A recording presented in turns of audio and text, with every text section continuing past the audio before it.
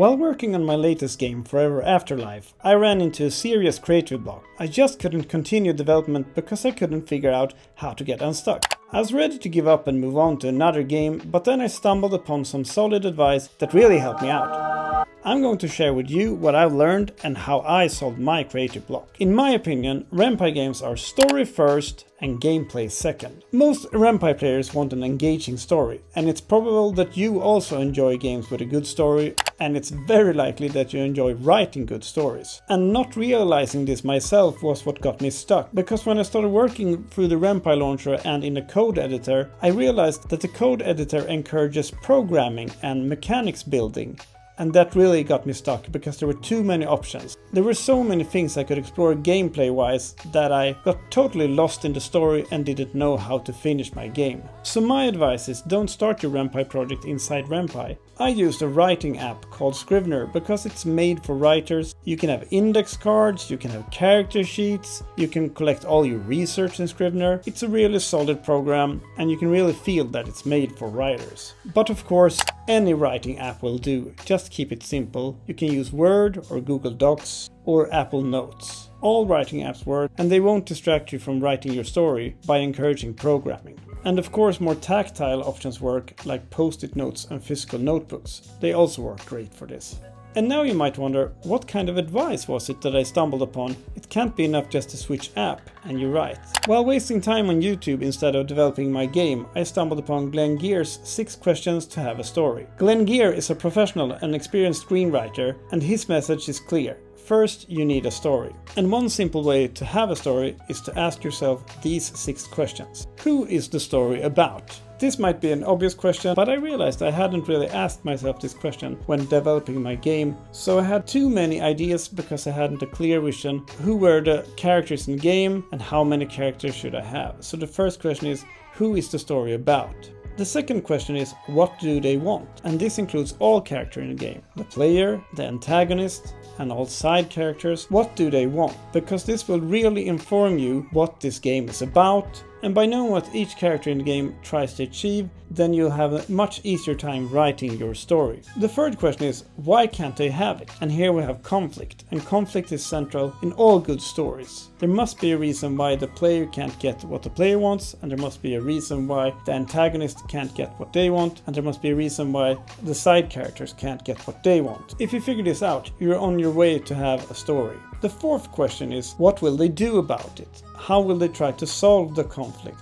What will the player try to do to reach their goal? And what will the antagonist do to try to reach their goal? As you can see, these questions force you to dig deeper into your story and to really find out what you are trying to write. The fifth question is, why doesn't it work? Why doesn't the player's attempts to reach their goal work?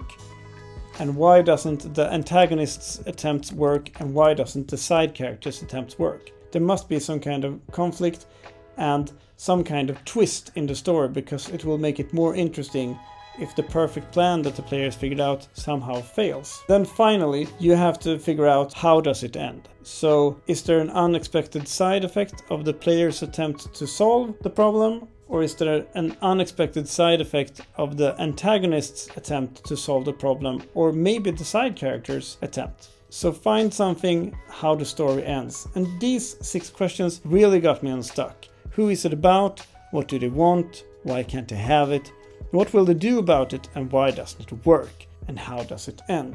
But I also stumbled upon another video that really helped me out. And that was Cassie Phillips' GDC keynote and she had some really inspiring advice. And she said that if you don't have a story, don't try to write branches in your Ren'Py game. And that was exactly what I had done and it created massive confusion for me. Before you even start to think about branching out, write a solid story. And that is also why I encourage you not to use Ren'Py while writing your story because like I said before, the code editor encourages branching and gameplay mechanics. The second thing she said is if you don't have a script, don't try to write choices. Write your script first, and my take on it was to actually start writing the good ending first. I just wrote the Ren'Py game as an ordinary story that ended in a good way. Cassie's advice is that you look for question marks in your script, and there you can create your questions that can then lead to branches. And all choices that you create, they must have understandable pros and cons, and these must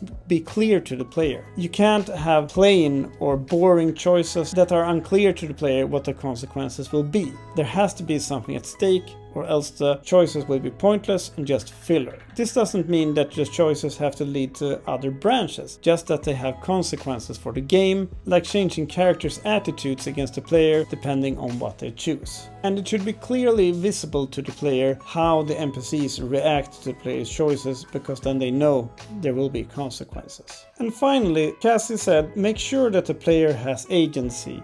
Try to involve a choice in your game as soon as possible so that the player feels engaged in the story and know that they can have an impact on the story's outcome. So make sure that the player has agency. Thank you for watching this video, you're awesome and I hope you can learn from my mistakes and not start your Ren'Py game in Ren'Py. If you want to check out some of my Ren'Py games, you can click on the link in the description of this video. If you try my games, I would really appreciate if you leave a comment on itch.io. I really encourage you to check out Glenn and Cass's videos and you will find links to them in the description of this video. Anyway, take care and I hope to see you soon in another video.